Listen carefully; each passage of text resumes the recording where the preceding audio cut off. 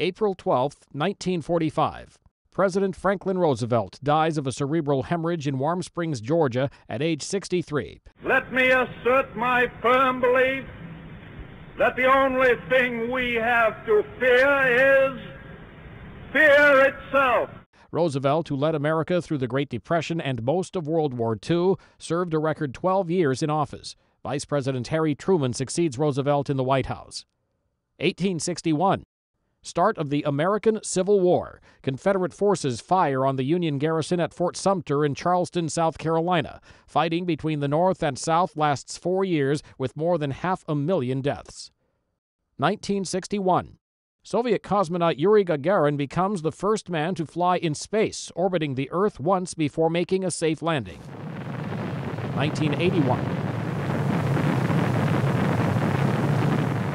America's first space shuttle, named Columbia, blasts off from Cape Canaveral, Florida, on its maiden flight.